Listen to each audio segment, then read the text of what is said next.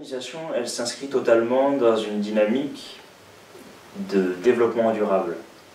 On est à la croisée des thématiques euh, déchets, énergie, économie, trois thèmes qui, je crois, sont assez d'actualité, assez chers aux collectivités.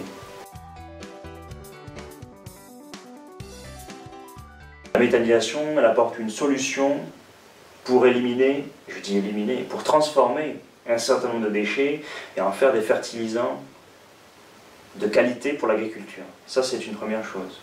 Donc on va mettre en face, face à face, des acteurs qui vont être complémentaires. Voilà.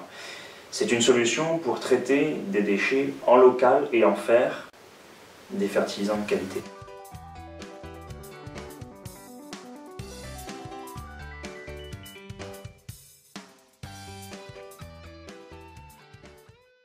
Deuxième point, qui est au moins aussi important, voire plus important que le premier, c'est l'aspect énergie. On a beaucoup de dynamiques de territoire qui essayent de tendre vers l'autonomie énergétique.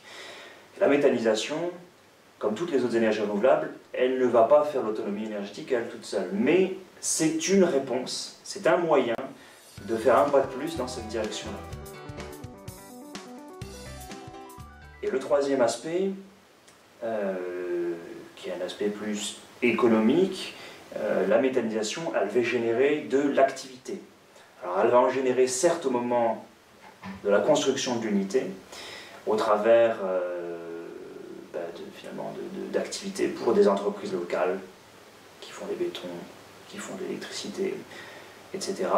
Mais elle va aussi en générer sur le long cours, parce qu'il va, y avoir tout un travail d'entretien autour de ces, machines-là, d'entretien, de logistique. Donc il va y avoir du travail pour les artisans locaux. Euh, assez souvent, il va y avoir un emploi créé sur euh, l'installation de méthanisation. Et puis, euh, chose non moins importante, on va consolider les exploitations agricoles, on va consolider l'activité agricole du territoire.